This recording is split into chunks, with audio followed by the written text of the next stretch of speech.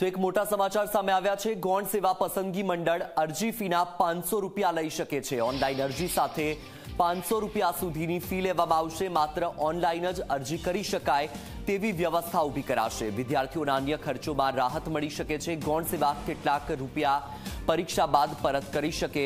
સૂત્રો પાસેથી આ માહિતી સામે આવી છે. પરીક્ષા નહીં આપનારને ફી પરત કરવામાં નહીં આવે. તો એક મોટા સમાચાર સામે આવ્યા છે. ગૌણ સેવા પસંદગી મંડળ અરજી ફીના પાંચસો રૂપિયા લઈ શકે છે. અરજી ફી પેટે પાંચસો રૂપિયા લઈ શકે છે. ઓનલાઈન અરજી સાથે પાંચસો રૂપિયા સુધીની ફી લેવામાં આવશે. તો માત્ર ઓનલાઈન જ અરજી કરી શકાય તેવી વ્યવસ્થા પણ ઊભી કરવામાં આવશે. વિદ્યાર્થીઓના અન્ય ખર્ચોમાં રાહત મળી શકે છે.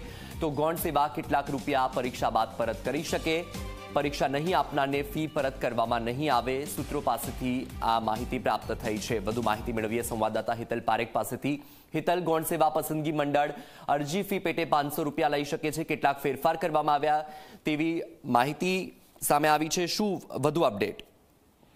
જી ચોક્કસ એવું કહી શકાય કે ગૌણ સેવા પસંદગી મંડળ દ્વારા વિવિધ સવર્ગોની પરીક્ષા લેવાતી હોય છે ને એમાં લાખો વિદ્યાર્થીઓ બેસતા હોય છે. સ્વાભાવિક છે કે એ વિદ્યાર્થીઓનું આયોજન કરવું ક્યાંક ને ક્યાંક મુશ્કેલી સરતું હોય છે ને એટલા જ માટે આ ફીમાં વધારો કરવાનો નિર્ણય લઈ શકાય છે. એ પ્રકારની એક વિચારણા ચાલી રહી છે.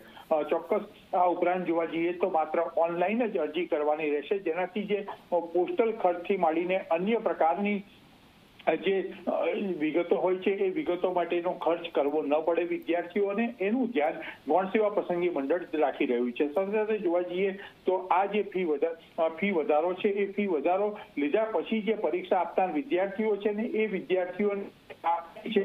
એ અંગેની પણ વિચારણા ચાલે છે, એટલે ક્યાંક ને ક્યાંક વિદ્યાર્થીઓ પર કોઈ પ્રકારનો બોજો ન આવે. ચોક્કસ જે વિદ્યાર્થીઓ માત્ર પરીક્ષાનું ફોર્મ ભરવા ખાતર ભરે છે અને પરીક્ષા આપતા નથી. એવા કોઈને ફી પરત નહીં આપવી. એ પ્રકારનો પણ નિર્ણય લેવાની એક વિચારણા સક્રિય રીતે ચાલી છે. જો કે અત્યારે જે જાહેરાતો પડી છે, એમાં તો માત્ર સો રૂપિયાની જ ફી ગૌણ સેવા પસંદગી મંડળ દ્વારા લેવામાં આવી રહી છે. જી. બિલકુલ. હિતલ માહિતી બદલ આભાર. તો ગૌણ સેવા પસંદગી મંડળ દ્વારા વિચારણા કરવામાં આવી રહી છે. અરજી ફીના પાંચસો રૂપિયા લઈ શકાય છે.